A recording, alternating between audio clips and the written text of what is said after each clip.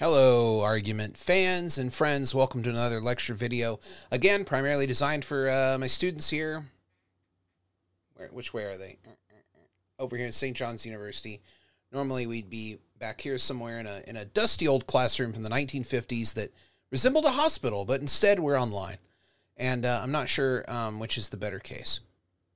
Anyway, I'm happy to have you here, whether you're a student of mine or whether you are just a random wanderer, rucksack wanderer on the internet looking for interesting stuff.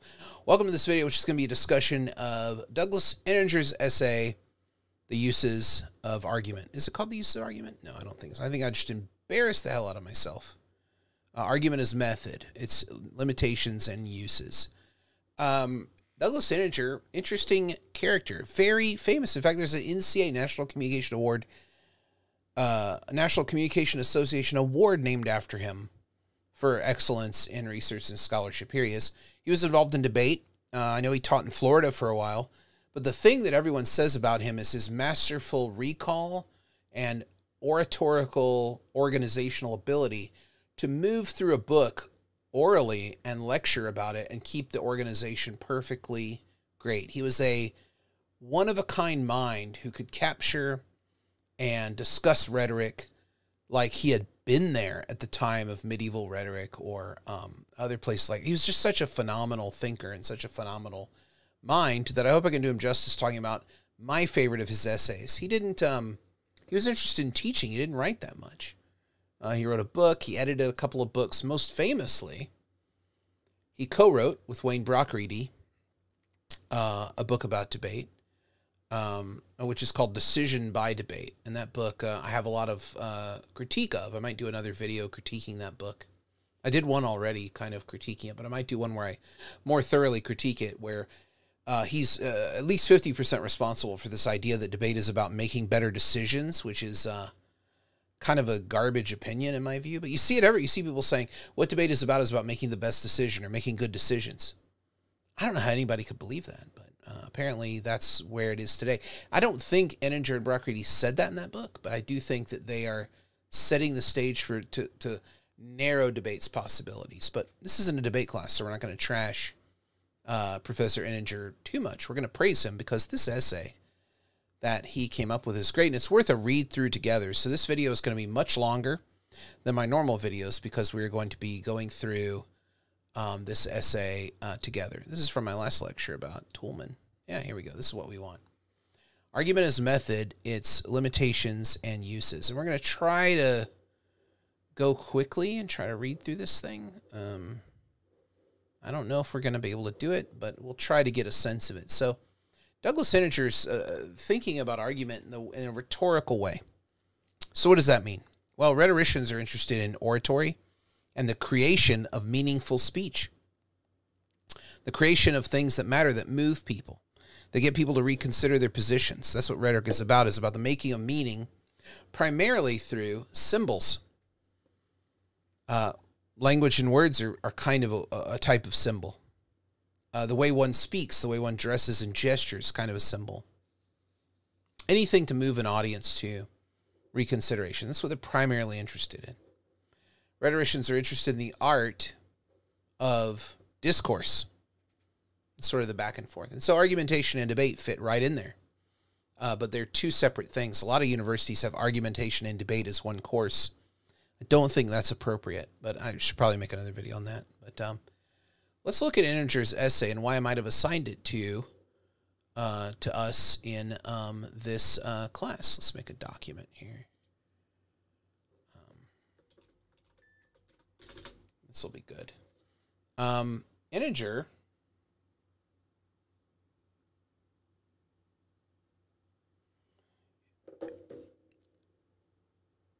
Douglas Ehninger wrote this essay to try to define and understand and explain what he thought argument was. So this is what we would call, and I've talked about this before in the previous videos. This is definitely a a prescriptive essay, meaning he wants to talk about what argument should be, but also talks about it as if it were already that, right?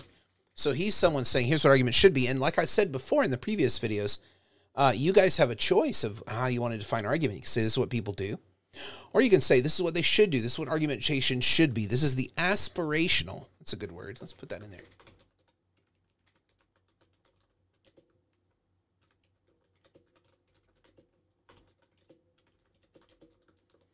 What argument aspires to be.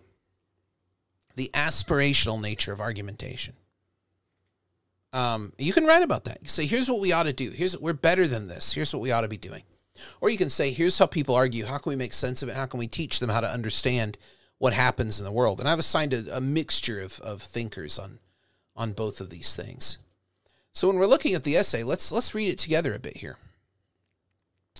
When A engages an argument with B, he seeks not to enlarge his antagonist's stock of information, but to disabuse him of error, not to add to B's uh, repertory of facts or data, but to reshape a belief or alter an attitude which B already uh, entertains.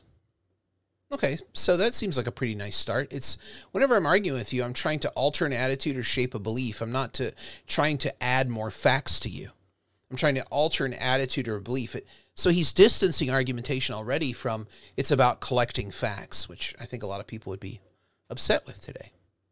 Argument, in short, instead of being an enterprise in instruction, is an exercise in correction. Its purpose is not to extend knowledge, but to reform and purify it. Okay, well, I don't know if I agree with that, but let's see what he's trying to say here. It's an enterprise in instruction. It's not an enterprise in instruction, it's correction. So you're trying to reform and purify knowledge. You're not trying to extend it, add to it, create knowledge. You're trying to say, look, the facts are the facts. Knowledge is what it is, information is what it is, but your attitude towards it or your understanding of what it means needs to be corrected. So instead of calling people wrong, he's saying they should be corrected. To place argument in the genus of correction is, however, an but an initial step. It is the burden of this paper to refine the description by delineating the methodological assumptions upon which argument as a species of correction rests. To this end, I shall first contrast the arguer's method with another and more familiar sort of correction, that designed to compel or coerce conformity with the corrector's view.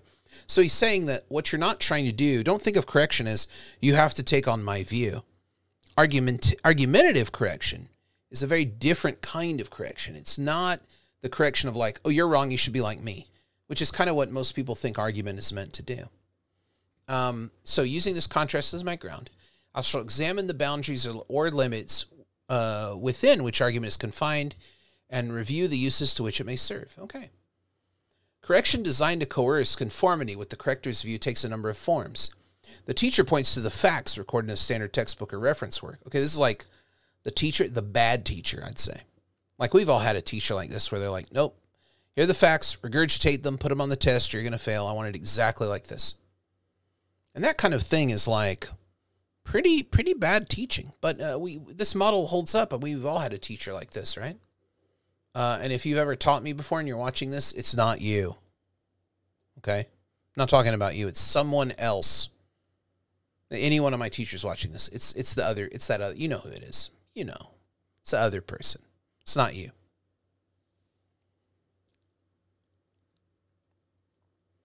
The layman orders the skeptic to use his eyes and his ears. The father exercises the right of parental control. The propagandist employs psychic or social pressures. The bully resorts to threats and to physical force. In all these cases, which the corrective act is designed to compel adherence, however, certain common characteristics are present. okay, so this is coercive conformity. Maybe we should write that down. That might be kind of a good one. So, correctors. There's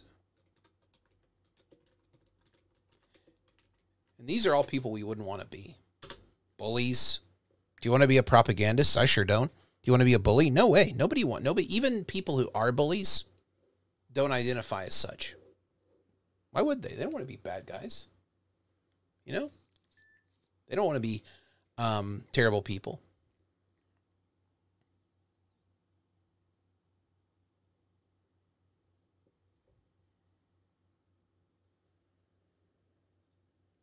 First, viewed as a process, the correction is unilateral. The lines of influence flow in a single direction from the corrector at one pole of the transaction to the correctee at the other. I gotta turn my phone off.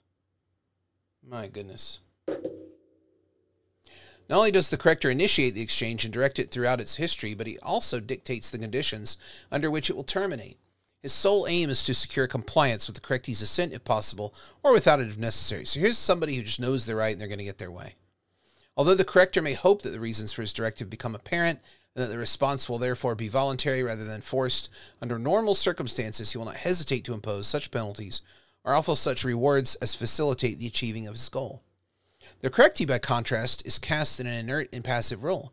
He is merely the object to which the correction is directed, the sink or receptacle into which the approved information is poured, the body whose behavior is to be modified. Gosh, this is like, we've all been in that class, right? Where it's like, you're going to change, I'm not going to change. Here's what we're going to do do it or fail. I'm going to bend you towards the facts. It's a very inhumane way to try to make people better. But I mean, maybe the bully or the propagandist isn't, they're not really interested in making people better, right? They're interested in submission. They're interested in coercion. They're interested in forcing people into a view. In every respect, the relationship is one in which a person who possesses superior knowledge or authority admonishes another who is inferior in these respects. Second, Correction that is coercive in nature does not in principle admit of various levels or kinds of success. Either the correctee obeys as ordered, in which case the corrector succeeds completely, or he fails to do so, in which case the effort must be written off as a failure and punishments of one sort or another imposed. A compromise in which the correctee agrees to split the difference between his original response and the one required is not regarded as satisfactory. So, this is the time when you don't agree with the professor and you write the paper and you say, This is what the ideas are from the professor, but I disagree. I, would modify it this way. And you still get an F because you didn't fully go with what the professor said the interpretation was. This is the kind of correction that, I mean, Ehninger is against this. Make sure you understand he's against this. But it also is kind of making me think, well, what kind of theory of argumentation is this where he's talking about bad teaching or bad correction, like propaganda? What a weird way to start. I mean, he's trying to define argument too, just like I'm asking you to do in the final exam. So what, what kind of, where are we going with this? Third, in coercive correction, the corrector's own attitude towards the rule he is enforcing or the fact upon which he is insisting is not a relevant concern. He may be strongly convinced of its validity or importance, or he may regard it as invalid or trivial, and therefore require adherence only because a higher authority demands that he do so. Whatever his attitude, the desired alliter- uh, alteration of belief, almost said alliteration, that's kind of a good slip. The desired alliteration of belief. That's kind of funny. Um, the desired alteration of belief or action still will be affected. The frequently heard excuse, I do not make the rules or invent the answers, I only enforce them, stands as proof that in the species of correction, the attitude of the corrector is not germane. So even the corrector is under the thumb of forces beyond their control. This is how it is. This is just what this class is. I don't make the rules. You have to pass the test. The test, the points, that's the thing. It's not up to me. You have to pass these things to prove that you're good at this, or you're going to fail the course. Fourth, because coercive correction is by nature unilateral, because the lines of influence and control flow only from the corrector agent to the correctee as object. Though the corrector may, under certain circumstances, expose himself to physical danger or social opprobrium, he runs no risk to his own integrity as a person, no risk that as a result of his action, his own orientation and outlook, his own constitutive pattern of attitudes and convictions will have to be radically altered. So this is like you're going to change 100% and I'm going to change zero. As the corrector, I change zero. It's not in the cards for me to change. It's not in the cards for me to correct or alter my way in any in any form or fashion. You're going to change 100% and conform to exactly what it is that um, that I say is right. This is not what Ehninger wants argumentation to be. This is not. He's not even saying argumentation is this. You know, he's saying uh, this is what argumentation isn't. It is not this kind of correction. Okay? Just making sure you're following along here. So let's go to section two here because we kind of get we get the gist, Doug. Okay, like kind of driving it home. But this is the way academics have to write. These are the rules of academic composition. You have to make an argument that has to be extremely clear, extremely laid out. That's just the way it's done. And from your point of view, you might say, "Wow, this is a big waste of words or something." But last I checked, words are not a, a critical natural resource. We have plenty of them. Uh, all you have to do is turn on CNN to see how many words we can waste in 20 minutes. Uh, and throw away to the winds and not have to worry about it because there's always more. Uh, so I wouldn't worry about it too much. It's just you, you might not ever write academically, but it's important to know how to read it because there's so many good ideas in academic publishing that it's a shame that people don't go look at it uh, more often. There's lots of reasons for that. One is paywalls. It's very expensive to access these journal articles. You're very lucky you have access to the library. It, co- it would cost you uh, probably three or four hundred dollars to read this article without the library's um, login. So think about that next time you're like um, wondering about the value of this stuff. It's heavily paywalled. Uh, and secondly, it's just very difficult to read, and most people don't read enough to practice uh, to have their their um uh, uh, their reading metabolism up enough to process this kind of stuff. Uh, it's just like if you tried to run a mile and you haven't been to the gym in six years, you're probably going to die, right? You're just going to fall over and be like, "My heart, I'm in pain." Like, no, you're just really out of shape. But somebody who goes to the gym for 30 minutes, does 30 minutes of cardio every day, if they have to run a mile, they could probably do it. The same thing with reading. If you if you do your reading cardio every day, 20, 30 minutes, you can read more difficult stuff if you have to. But you might say, wow, that was a hell of a workout. I don't want to do that again. I'm going to go back to my 30 minutes of uh, Harry Potter or whatever every day that you like to read. And that reading is still practicing reading, right? All right. So now, by way of contrast, let us consider the case of the arguer who, convinced that another's beliefs are invalid or pernicious, attempts to set the party straight by engaging him in argument. This is what the good guy corrector does. In what ways does the arguer's method of effecting correction differ from the coercive or constraining sort of correction described above? First, and of crucial importance, it should be observed that in this new situation, the lines of influence, instead of flowing only in one direction, flow in two. Okay, that's a huge change. The corrective process, instead of being unilateral, is bilateral.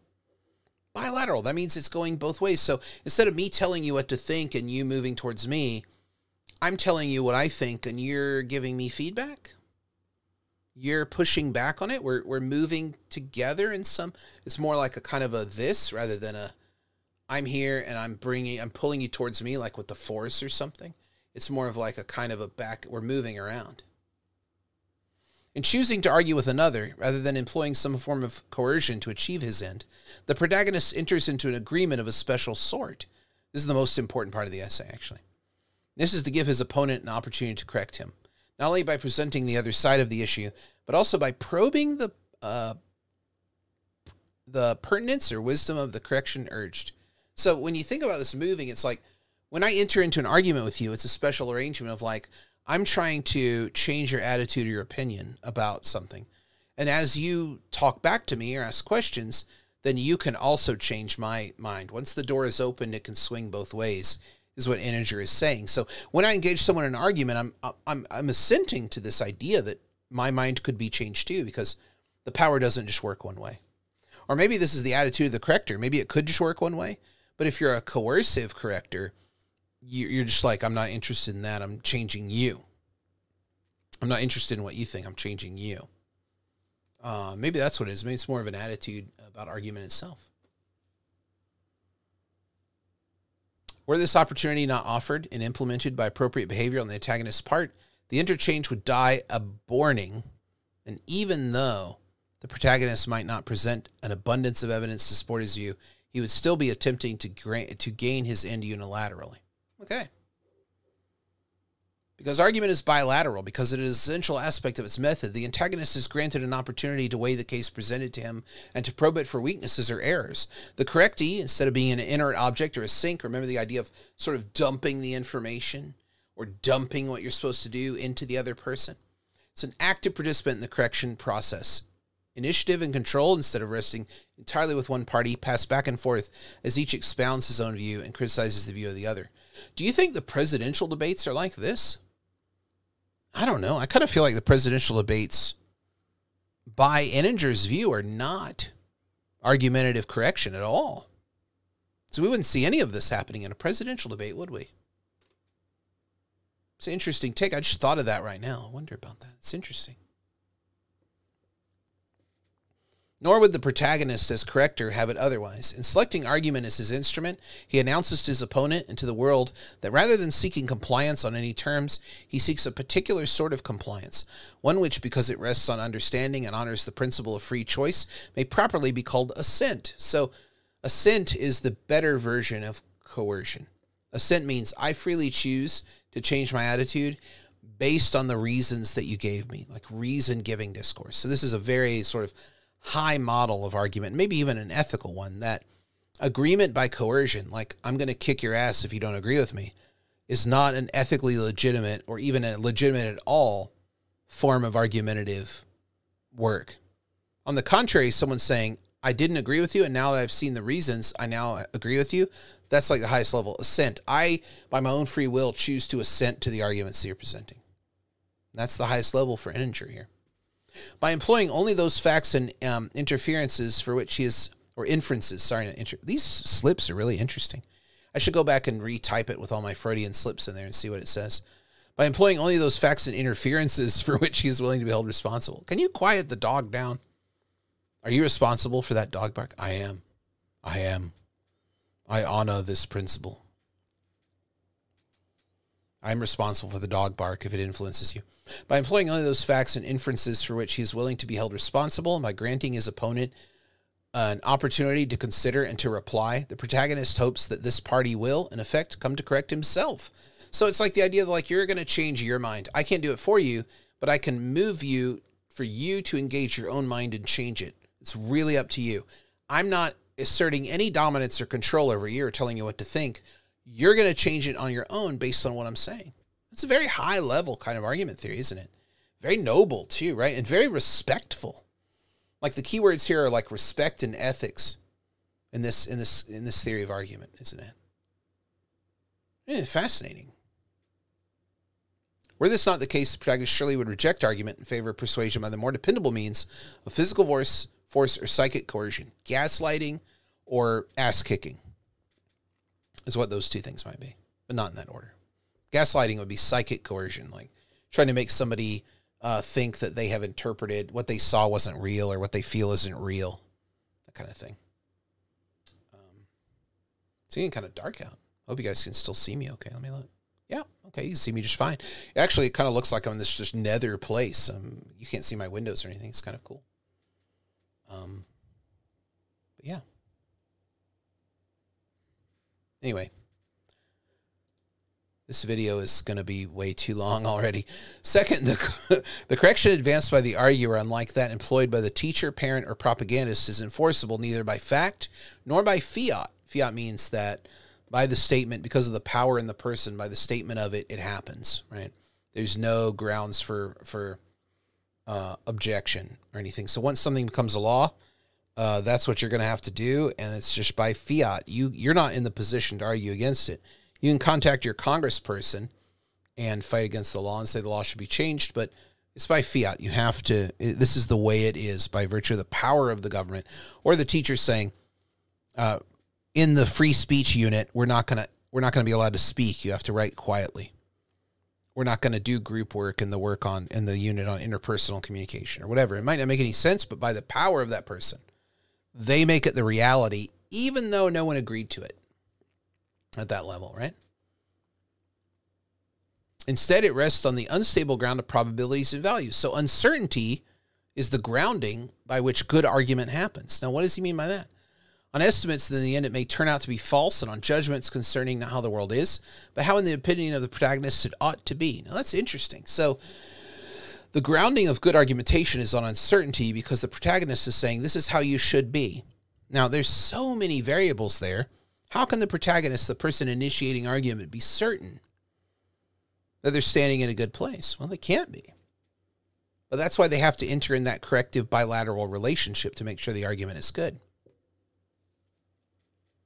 Where constraining proofs are available, argument is superfluous. For here, the proper procedure is at most to explain or review the proof by which the rule is established or the fact verified, and at the least command adherence.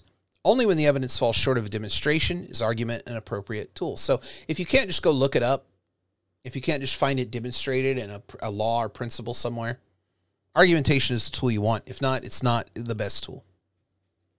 Third, in contrast to correction of the coercive sort, the correction engage, engaged by the arguer permits of various levels and kinds of success. This is when I kind of feel feel like it's a success when I'm arguing with somebody who's very different from me in politics, and they say, "Well, I, I can see where you're coming from. I'm like, oh, that's a win. because it's so difficult to try to get people to see your, your way in the world. It's the most difficult thing, I think. That it's good to say, well, I can see where you're coming from. I can see why you think that is a big win. And over time, maybe you've planted seeds that will make them reconsider their position. There's different kinds of success. Sometimes you'll be in a really bad argument where somebody might say, well, let's agree to disagree. That could be success because you haven't lost your friendship, you haven't lost your relationship over your disagreement. Let's agree to disagree. Okay, that what does that mean? Well, we're not going to make this a center point of our relationship. This is something we can disagree about and put to the side, but it's not going to corrupt our entire relationship. For while total agreement in the form of capitulation might be the result of the protagonist prefers, of course, everybody wants to win. In those myriad cases in which there is much to be said on both sides of an issue, it would be strange indeed to regard as a complete failure a case that eventuated in a compromise or won a qualified acceptance. Moreover, proof in the abstract, as an accumulation of evidence and in, an inference sufficient to establish a claim in principle, must be distinguished from proof to a person, as an accumulation of evidence and inference, which does, in fact, affect conviction in a given instance. So, arguing in general, in the abstract, is not like it is arguing with people, and and every kind of person is going to have different kinds of conviction in relation to what you say. It's kind of similar to Toulmin, isn't it? The arguer, no less than the person who uh, engages in a rhetorical effort that is unilateral in nature, can hardly be said to have failed if within the limits set by his method he overlooks no possibility for attaining his end. What?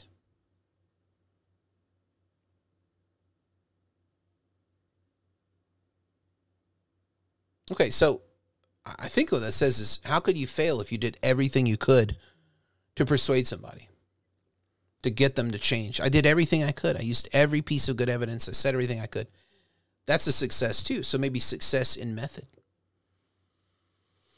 it's hard to accept, isn't it? The idea that you could like say, I'm actually pretty good at arguing even though no one's agreed with me. It's kind of what he's saying, right? Well, maybe not in all cases.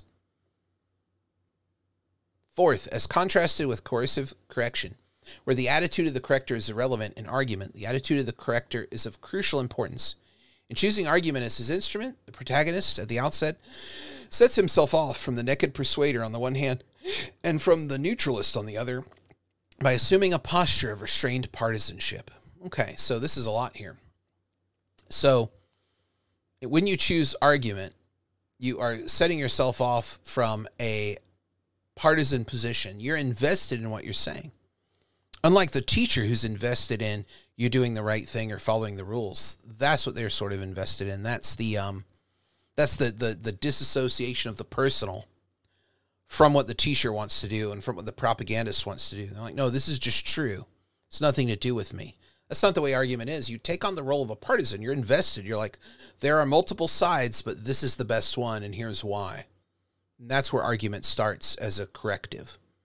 Uh, you're not, I, I guess, Ehninger's saying you're not really arguing if you're doing this coercive stuff. I think that's what he's saying.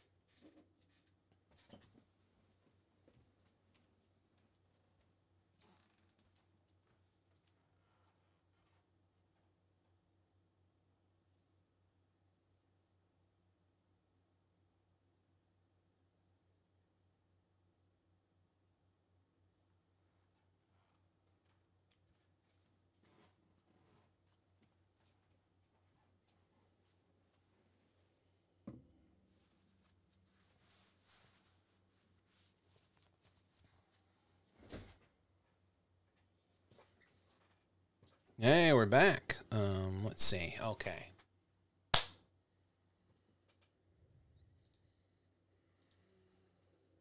So where were we? I took my headphones off. When did that happen? What was I even listening to?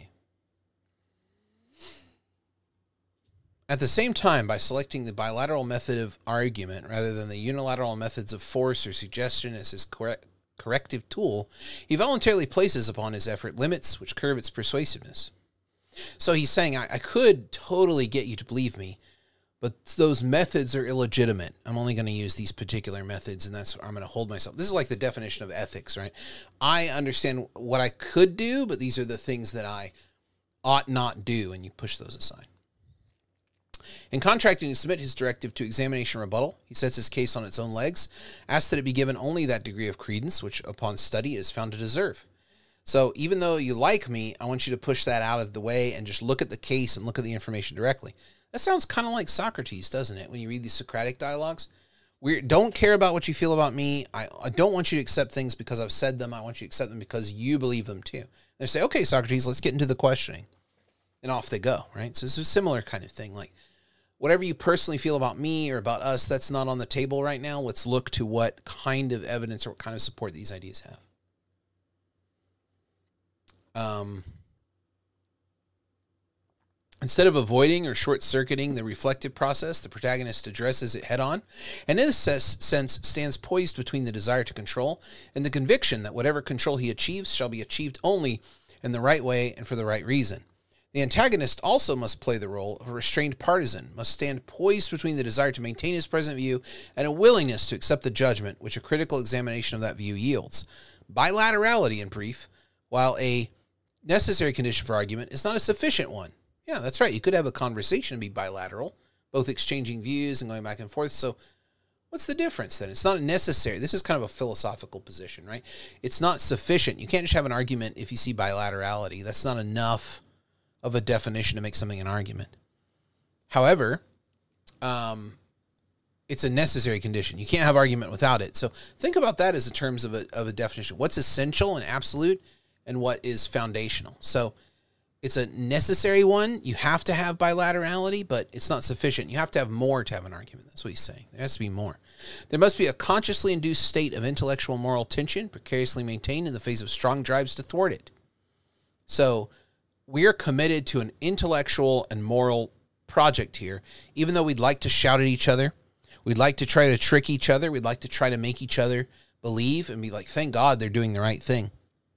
Nope we have to defer to argument as a process where we calm down, where we say we are trying to enforce, I mean, passionately enforce these moral and um, uh, intellectual rules that argument requires. When such tension is absent, the motive to reflect or resist correction is lacking and no interchange occurs. Yeah, so you're like, I'm not going to listen to you anymore. You get mad. You, you double down on your own view. Or you say, Why you're such an idiot. Why can't you believe me? This is the kind of thing that happens when we lose track of the larger structure of argumentation. When, on the contrary, tension becomes too great, the bond of common interest by which the conflicting drives are held together breaks, and one or both parties, losing the requisite poise, resort to psychic or physical pressures to enforce their views.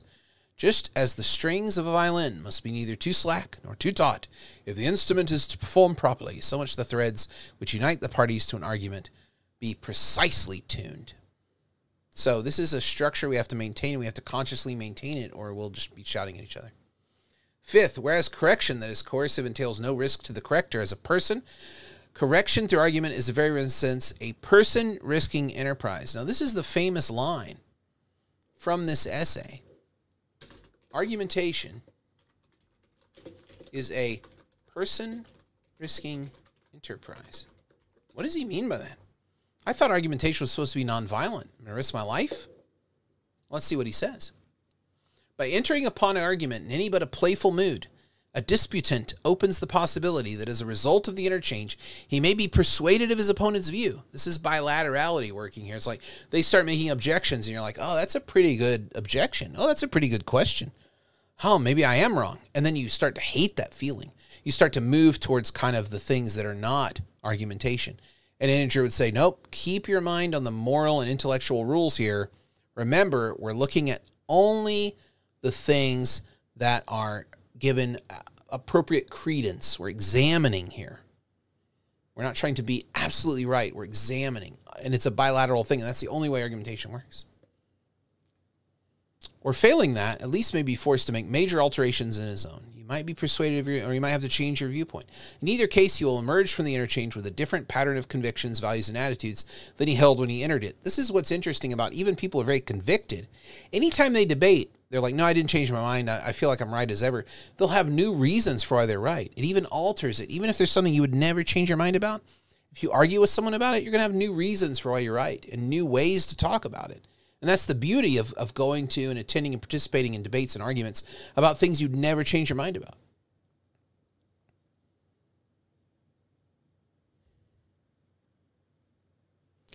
So, to this extent, he'll be a different self or a different person. Yet, obviously, this is exactly what he does not wish to happen. For if he were indifferent or passive willing to be remolded as another desires, he would not have engaged in argument in the first place. He would not have undertaken to uphold by evidence and reasoning the pattern of convictions or values which he originally entertained. By laying on the line for examination and criticism of you, in which he believes so strongly that he not only wishes to maintain it, but also to impress it upon others, the arguer lays himself on the line also. Were he not willing to face these risks to his own orientation and integrity as a person, he would seek to avoid or to stifle opposition rather than to invite it. So it's really kind of a thing of like, if I'm so right, why would I risk being wrong? Is kind of the the anti-debate attitude, the anti-argument attitude. So why would he do this? Well, he believes it so much that he wants other people to come to that conclusion on their own by changing their own attitude and mind about it. So this is a, kind of like a gift one gives that's very high risk. I know I'm risking myself, my attitude, everything I believe in, but I respect you so highly. This is the only way that I want you to come to the decisions that I have come to. In correction of the corrective genre, where commitment to end is paramount and commitment to method is secondary, the person may be sheltered or bypassed. Remember, it's not me. This is the law. These are the rules. This is what science says. It has nothing to do with me. Submit to the logic, submit to the facts. That's the bad corrector. The argumentative corrector is I'm invested in this personally, and I want you to be too. And here's how I've come to see it. It's very personable, it's approachable, and it's very risky to do that because if they push back, you might change your mind. We don't want to do that. You might have to give up your long held beliefs, and you don't want to do that. Although it's good to do that, none of us want to do that. We never want to say we're wrong. That's a hard thing. But it's so good to be able to do it. It's so good to talk with smart people and realize how wrong you were. I mean, it's just, it's a beautiful thing, but it sucks at the time. In review, then, the correction of the arguer is bilateral and non enforceable, permits the various levels and kinds of success, demands a posture of restrained partisanship, and places the person in a position of genuine existential risk, not like violent life and limb risk, but existential risk. I don't know who I am anymore if I can't believe this. So you can imagine religious argument where the the convicted um, Catholic person tries to persuade the atheist, and the atheist gives lots of good reasons why it's not true. They start to doubt their own faith. That can be super um, traumatizing. But that's the risk we take in argumentation. That's why argumentation is so beautiful and powerful. Is you'd never be able to have the conversation with the atheist uh, in the first place, or have the chance of them thinking about their own views, which they might be doing. It's not necessarily a one way street in terms of result. Bearing these characteristics of the arguer's method in mind, let us next consider the limitations to which his method is prone. So these are the problems argumentation can have. First, argument by nature is indecisive. Second, it can encompass only those situations in which mutually exclusive alternatives present themselves. So it's indecisive. We're never quite sure if we've got the right answer, right? It's always moving. Well, there's always another response. So usually arguments are ended because of time or because of energy. People get tired or because they have something else to do, another commitment. So they can't argue and argue and argue. They're always indecisive. It always comes to an end. Second, only mutually exclusive alternatives present themselves, which means you can't argue unless you have two things you can't do at the same time. We can either go to Taco Bell or Wendy's. We can't go to both and eat there. I mean, you'd be very sick, I would think. Third is imprisoned in the world of words. I wonder what he means by that. And fourth, it addresses itself exclusively to means and never to ends.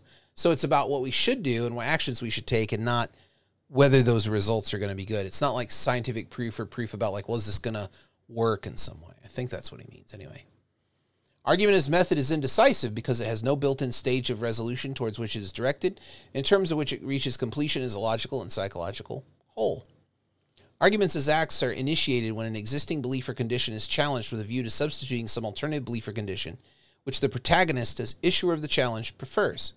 is supported by evidence, inherent, in inference sufficient to make out a prima facie case. Prima facie means at first face, it means all the evidence is there for something that could persuade. Whether it actually persuades is a different story, but everything is there that needs to be there to make that work. Then you are a good, good starting point for argument. Such a challenge poses a threat to the party who favors things as they are, or prefers a reordering different from the one proposed. This is a very long essay. I don't think we're going to be able to. Are we going to get through all of it? Oof. This is a lot. Okay.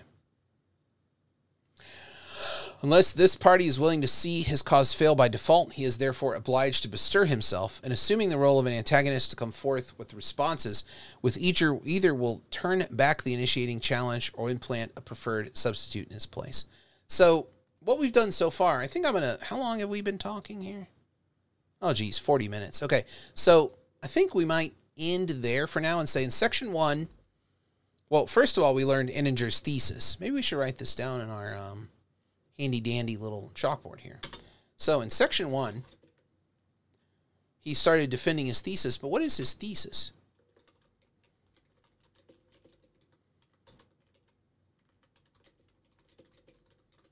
Argumentation is a special kind of correction. It's not coercion, where you're forcing someone to do something, but it's also not like um, it doesn't deal with um, uh, facts.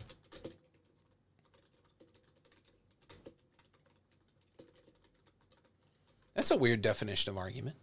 So in section one, bad coercive correction. Section two, how argument is good correction. In section three, which we'll do in the next video, will be um, uh, what is he talking about? Um, limitations of argumentation. And that might be something you want to consider in your own uh, in your own um, work is this idea of um, here he is again, Douglas Ehninger. Smart guy, don't you think? This is a very thorough and very highly organized essay. Everyone who was a student talks about him this way, that he was like, he could just kind of speak in a beautiful outline format. And you can see he can write in that way too. But uh, is interested in a very special kind of understanding of what argumentation is. In section three, we're going to find out the limits of that. And then in section four, kind of what we're supposed to do with it. So in the next video, sections three and four.